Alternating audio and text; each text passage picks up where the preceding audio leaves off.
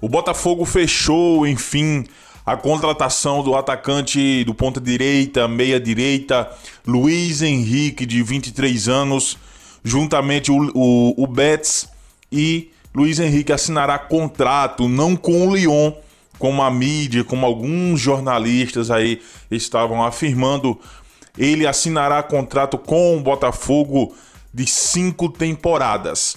O empresário do jogador Regiane, em entrevista aos canais ESPN, afirmou e confirmou que a contratação do atacante Luiz Henrique, seu cliente, é feita pelo Botafogo e que quais, quaisquer informações de datas ou de transferências futuras de Luiz Henrique para a Europa são meramente conjecturas, segundo o empresário falou aos canais ESPN.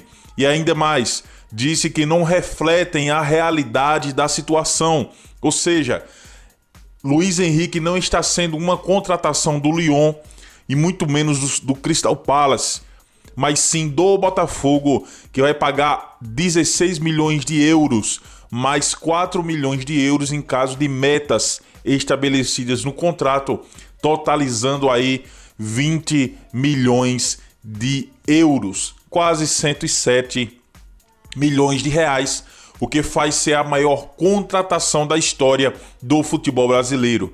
E também o que cai nessa, nessa entrevista do, do, do seu empresário é a falácia que Luiz Henrique só ficará seis meses no Botafogo. Não.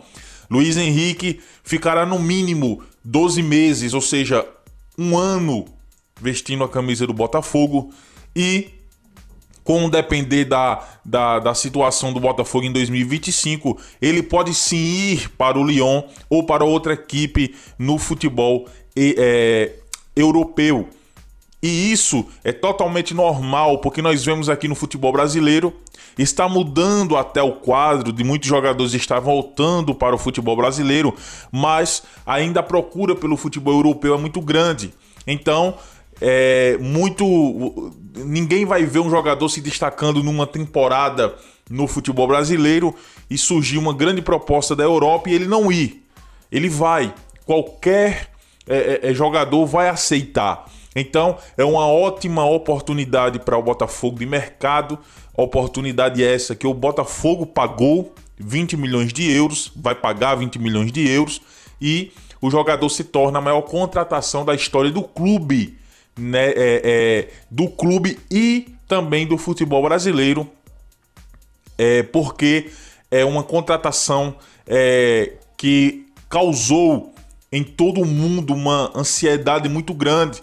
Fabrício Romano, Romano falou, é, publicou pelo menos três vezes nas suas redes sociais que o Botafogo estaria contratando esse jogador e a marca Botafogo foi é, é, é exportada para o mundo inteiro.